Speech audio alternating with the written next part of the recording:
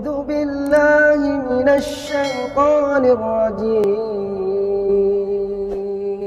بسم الله الرحمن الرحيم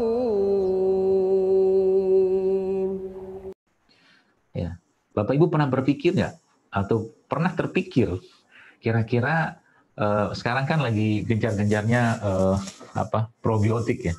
Saya pernah bilang bahwa subhanallah ya di surga itu sudah ada probiotik coba. Loh kok bisa? Kata Nabi kita salah salah Nabi bilang eh, bukan Nabi. Allah menjelaskan dalam Al-Qur'an ya. Ya, dalam di surga itu ada khamar yang tidak memabukkan kata Allah. Khamar itu kan sesuatu yang difermentasi. Khamar itu sesuatu yang di eh, ya difermentasi gitu kan. Kalau zaman dulu orang-orang orang Arab itu bikinnya dari dari kurma, kemudian mereka campurkan air, masukkan dalam batang kurma yang dibelah, campur air, tunggu sekian lama jadi khamar. Tapi memabukkan adalah alkohol. Di surga sudah ada. Pernahkah kepikir, kok bisa Allah memilihkan di surga itu minuman penghuni surganya, ya, atau ma- maka minumannya salah satu adalah jahe. Coba, coba, pikir. Kenapa mungkin di surga itu enggak habatus sauda, misalkan enggak ada habatus sauda disebut hadis. Kenapa di surga eh, apa tuh namanya eh, Allah menci- bukan kenapa sih Allah menciptakan di surga itu ma- minuman dari madu, dari susu, dari khamar, dari jahe kan gitu. Berarti kalau kita trace balik dari sana, kalau kita ya kalau kita kembalikan gennya anak manusia zaman sekarang, kalau tadi saya bicara tentang non fisik, non fisik itu betul iman, akidah, perbaiki itu. Ya, kuatkan kalau kata Kazuo Murakami, salah satu dokter di Jepang yang meliti tentang gen switch on off gen itu, dia katakan bahwa gen itu bisa switch on, bisa switch off, dia bilang. Yang nggak heran dulu sekalian, ya ada orang yang bisa sembuh dari kankernya dengan kekuatan iman banyak kayak begitu. Nggak, kita nggak tershare aja sebenarnya. Ya. Dan saya banyak mendapatkan orang-orang seperti itu tiba-tiba kanker tumornya hilang, sakitnya hilang segala macam. Karena memang penyakitnya bukan karena fisik, tapi karena non fisik. Kalau non fisik maka sebenarnya jawabannya adalah Al-Quran. Meskipun Al-Quran adalah pengobatan juga untuk non fisik.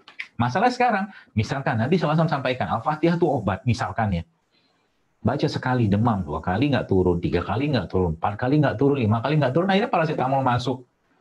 Kenapa? Karena istighfarnya kita mungkin masih butuh istighfar lagi. Jadi istighfar itu perlu diistighfarkan. Ya. Masya Allah kan? Kenapa? Karena saya Anda semua tiap hari hidup dalam era fitnah, Bapak sekalian. Saya tadi pagi nonton YouTube, nonton YouTube eh, kajian dakwah. Belum apa-apa muncul iklan. Ya Allah, ya Robi, perempuan-perempuan gitu kan. ya, udah fitnah kan buat mata kan akhirnya lemah lagi gen. Jadi setiap sesuatu yang melemahkan penglihatan, pendengaran dalam bentuk dosa, maka dia akan melemahkan gen kita. Itu kata kuncinya. Dan setiap sesuatu yang menguatkan dalam bentuk apa yang kita lihat, dengar, rasakan, dan menguatkan iman kita, juga secara otomatis akan menguatkan gen kita. Seperti itulah. Jadi gen itu betul-betul gen yang tangguh. Ya. Nah, kembali ke yang tadi saya katakan cerita tentang fisik tadi, Bapak sekalian. Jadi, kalau kita bicara tentang gen, berarti gennya Nabi Adam itu kan ada pada diri kita. Gennya Nabi Adam. Ya. Nabi Adam adalah nenek moyangnya kita, bapaknya kita. Maka Nabi Adam itu ketika beliau berada di surga, dikasih makan sama Allah kan makanan-makanan terbaik, sayur, buah, apa segala macam termasuk yang Allah atau Nabi Rasulullah sampaikan kepada kita dalam bentuk ya madu, jahe apa segala macam. Berarti dalam tubuh manusia, dalam tubuh Nabi Adam itu sudah ter, ter apa ya kalau bahasa itu ter, ter create gitu kan gen yang dasarnya terbuat dari jahe, dari susu, dari madu. Nah, ilmu itu sekarang dikenal sebagai epigenetik kan atau nutri epigenomik. Jadi makanan yang dimakan seseorang itu ya akan menjadi bagian dari gennya dan akan mempengaruhi sampai ke anak cucunya nanti. Gitu loh.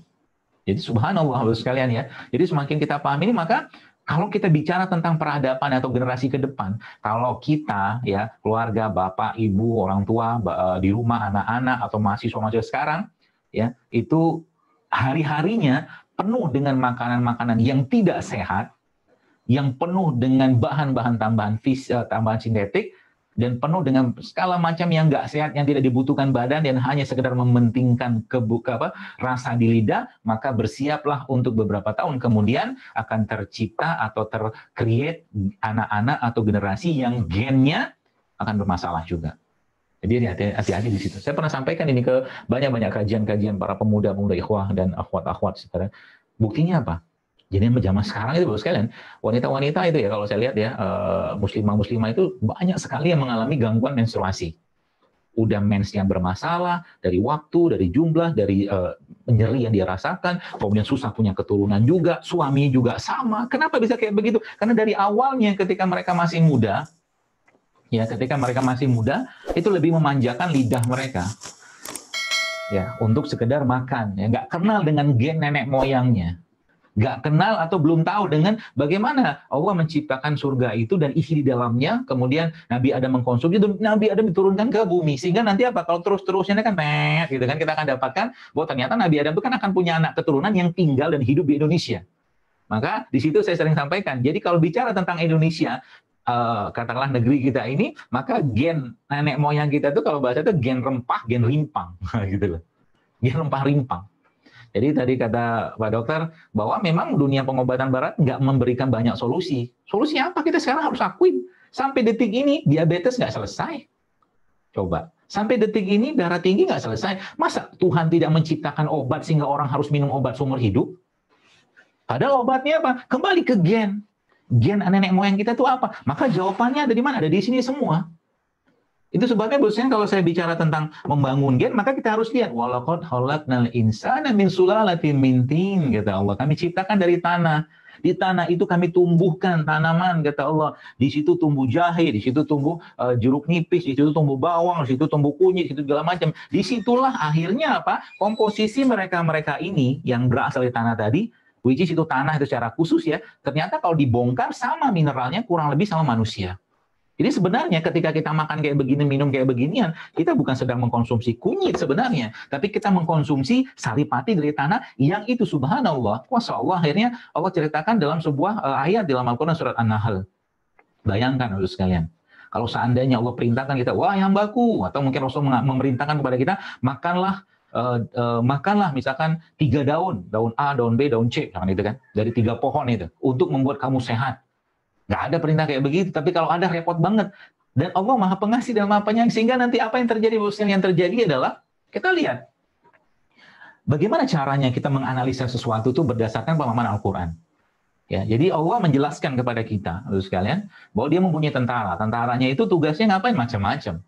Bayangkan, kalau Anda bayangkan pohon, ada pohon gitu ya. Ada pohon, ada akarnya, ada batangnya, ada daunnya, ada ranting segala macam. Ya, jadi katakanlah di pohon gitu ya. Sarinya atau mungkin inti dari tanah itu dari berupa mineral atau segala macam diserap oleh akar masuk ke batang terus naik ke daun ranting akhirnya menjadi buah atau kuncup uh, ya bunga seperti itu ya. Kalau dia pohon buah, maka sarinya pohon ini yang diserap dari akarnya tadi itu ada pada buah pohon tadi. Kalau tidak ada buah, maka berupa kuncup-kuncup bunga. Di situlah sarinya. Repot kan kalau kita makan itu tiap hari kan. Akhirnya apa? Allah datangkan tentaranya berupa atau bernama lebah untuk mengambil sari pati lihat bahasanya. Sarinya kan. Sarinya pohon tadi atau sarinya tanah tadi atau bahasa balik dari dalam berarti sarinya manusia. Ya. Yang kemudian sama lebah dibawa ke sarangnya, diolah-olah-olah, jadilah madu. Sehingga kalau Bapak Ibu lihat, isi madu itu apa? Asam amino loh. Dan asam amino itu apa? Bahan bakunya gen. Semua yang Allah ciptakan atau mungkin Allah sebut dalam Al-Quran atau sebutkan oleh hadis Nabi SAW itu sebagian besar ya adalah memperbaiki gen. Ya, karena bahan bakunya asam kurma, asam amino tingginya luar biasa kan bahan baku gennya asam amino. Kemudian madu juga sama dan produk lebah itu semuanya sebagian besar isinya asam amino semua. Jadi kalau kita bicara sekarang mau memperbaiki generasi secara fisik, maka makanlah apa yang sudah Allah tumbuhkan di negeri kita dan Allah sebutkan nama Al-Qur'an atau disebutkan oleh hadis Nabi SAW dan perbaiki itu atau apa itu namanya konsumsi itu setiap hari karena itulah cara kita memperbaiki gen. Tambah lagi dengan cara apa? Tambah lagi dengan cara membersihkan tubuh kita itu dari polutan-polutan yang ada yang masuk ke dalam pembuluh darah kita dan kapiler dengan cara berbekam. Selesai sebenarnya. Jadi, kalau Bapak Ibu lihat protokol kesehatan Islam itu sudah sangat lengkap sebenarnya. Ya, suruh istinsyak karena memang ada kuman yang bertahan di hidung per 5 jam. Kita sholat lima waktu lima kali sehari, jadi otomatis kumannya hilang semua. Disuruh bersihkan di sini polutan-polutan yang kontaminan di kulit. Maka dalam surat Al-Maidah, wudhu itu bukan di bukan digalirin gitu loh, tapi dibasuh. Seperti itu caranya. Ya, jadi kalau boleh saya katakan bahwa sebenarnya di era-era wabah seperti sekarang ini, Apa yang harus kita kerjakan? Ya kembalikan saja pada konsep Islam, kembalikan saja pada konsep Al-Quran dan hadis Nabi Shallallahu Alaihi Wasallam. Dan insya Allah itu sudah mencakupi semua sebenarnya. Dan tawakal, ya kita perlu tawakal pada Allah. Saya sering sampaikan kepada teman-teman ya. Jadi info terbaru ya, info terbaru itu memang virus ini sudah bermutasi dan gejalanya beda sama virus yang sebelumnya, generasi sebelumnya. Terus kita mau ngapain? Panik? Ngapain juga? Ya, virus di mana-mana, bakteri di mana-mana, tapi ikhtiar tawakal tetap jalan, tapi jangan parno juga gitu loh. Jangan terlalu parno juga dengan keadaan ini gitu loh. Yang namanya mati aja semua sudah ada waktunya. Ya, kita tawakal ikhtiar tetap perlu kita kerjakan ya. Dan tidak uh, apa tuh dan ini semua tuh apakah menjamin 100% ya enggak lah. Kalau memang saya sampaikan bahwa banyak tuh orang yang pakai masker bahkan pakai APD level 3 kena juga. Qadarullah ya. Teman-teman uh, di kesehatan gitu kan yang sudah full gitu kan masya Allah ya. Semoga Allah ampuni mereka. Kena juga. Yang nggak pakai kena nggak ada juga nggak kena gitu loh artinya apa? Ada misteri-misteri di situ gitu kan yang kita memang nggak tahu. Jadi akhirnya apa? Kembalikan semua pada Allah ya. Dan uh, apa tuh namanya? Uh, yakinlah ya bahwa ini semua pasti akan ada masa selesainya. Siapa yang tahu kapan selesainya? Allah yang tahu. Kita nggak tahu. Tugas kita ngapain? Sabar ya ikhtiar, tawakal, cari sumber-sumber yang kira-kira sekiranya bisa membantu uh, proses penyembuhan uh, kondisi saat ini. Ya, sehingga nanti apa? Kita sedang tidak. Jadi kalau sekarang semua orang panik, semua orang uh, dalam keadaan kebingungan, maka balik-baliknya Pak, balik-baliknya nanti gen yang akan kita wariskan adalah gen-gen panik, gen-gen kebingungan. Kalau bahasa itu gen-gen kerupuk gitu. Ujian mah pasti jelas ada, ya pasti jelas ada, bos sekalian. Ya pertanyaannya pasca ujian itu kita sudah menjadi orang yang lebih baik belum ya atau kita sudah siap belum menjadi orang yang lebih baik gitu loh kalau seandainya itu nggak nggak nggak nggak mampu kita uh, dapatkan berarti kita tidak memanfaatkan ujian tadi untuk berbenah kayak sekarang kayak begini kan? Ya. Semua orang sudah mulai cari solusi apa solusi apa solusi apa. Ya. Vaksin katakanlah. Apakah vaksin juga memberikan jaminan? Belum tentu juga. Karena virusnya terus bermutasi gitu kan? Ya. Maka uh, Ya, kalau kita bicara keimanan tadi Bapak sekalian, ya, kalau kita bicara keimanan ya, maka keimanan itu akan keimanan yang benar dan sesuai dengan tuntunan agama kita pasti akan memberikan ketenangan, pasti akan memberikan kebahagiaan. Jadi gen-gen seperti itu atau mungkin jiwa-jiwa seperti itulah yang akan kita wariskan. Ya, dan kita sendiri juga yang harus merasakan itu. Itu sebabnya kata Kazuo Murakami dalam bukunya itu Switch itu, dia katakan bahwa gen itu bisa terswitch itu ya salah satunya bisa ya bahasa dia itu ter, ter apa, ya, teraktivasi gitu kan dengan cara kalau bahasa beliau tuh bermeditasi ya atau mengharu birukan diri Anda kata beliau gitu, mengharu birukan. Ya. Seperti itu. Jadi uh, dan apa tuh namanya mengharu birukan itu dalam kita kan ya takoruk ya mendekatkan diri pada Allah sehingga nanti air mata mengalir ya kita merasakan ketenangan ketenangan itu baru sekalian percayalah adalah sebuah anugerah yang Allah berikan dan Allah masukkan dalam hati kita ya kalau sekarang katakanlah kita cemas terus menerus maka ibu-ibu yang melahir atau yang lagi hamil sekalipun itu ternyata dalam riset-riset yang ada menjelaskan bahwa memang ibu-ibu yang cemas yang ketakutan ketika hamil ya maka anaknya pun akan seperti itu nanti subhanallah ya maka tadi pesan saya ya, kalau kita bicara gen maka perbaiki akidah kita. Perbaiki gen tauhid kita. Tenang ya, minta kepada Allah ketenangan ya. Allah mantas salam, minkas salam. Ya Dan pasti selesai. Yang namanya ujian yang di uh, universitas juga nggak tiap hari juga ujian. Ya, pasti ada waktu selesainya ujian tadi. Gitu ya. Kemudian yang kedua